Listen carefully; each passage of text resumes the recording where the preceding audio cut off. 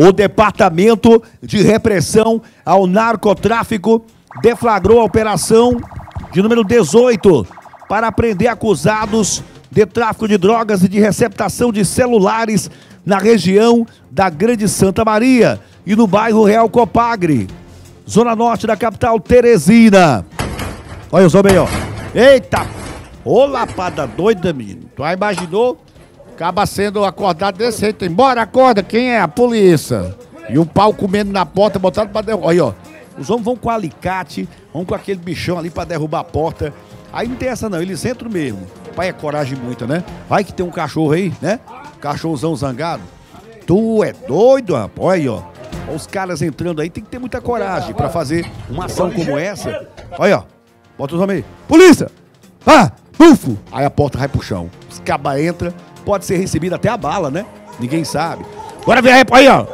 Vamos ver a reportagem aí de Tony Black na tela do Pancadão, na tela do campeão, na maior audiência do Piauí. É, vai a máquina de fazer a audiência. Polícia Civil do Estado do Piauí, Departamento Estadual de Repressão ao Narcotráfico, DENAC. Esta especializada é comandada pelo delegado Samuel Silveira. E ele juntamente com 12 equipes, estiveram nas ruas, nas avenidas, nos bairros da capital do estado do Piauí, exatamente para cumprir mandatos de buscas e apreensão.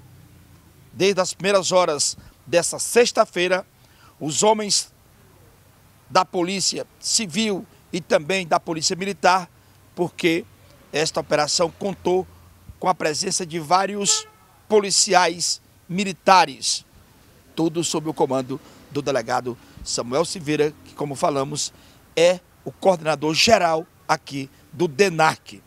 E é exatamente o delegado Samuel Silveira que vai fazer um balanço desta operação realizada pelas polícias do estado do Piauí. Hoje pela manhã foram 25 mandados de busca, 12 só para a Vila do Léo, uma vila bem famosa nessa questão do tráfico de drogas especificamente para aquela comunidade, 12 mandados de busca, três presos até o presente momento com droga, com, a, com drogas e aparelhos celulares.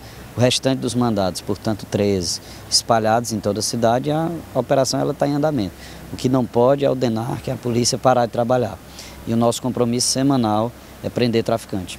Isso aqui que o senhor está nas mãos, é uma... a câmera, essa é... câmera estava onde? Isso aqui era uma câmera que era utilizada para monitorar o exato instante em que a polícia entrava na comunidade. É uma câmera que sequer era vinculada a, a, um sistema de captação de imagens da residência onde ela estava fixada. Né? Então, quem colocou essa câmera queria ter ideia de todo o funcionamento da vila. Quem conhece lá sabe que é um trecho bem estreito, né, com uma só entrada, sem saída.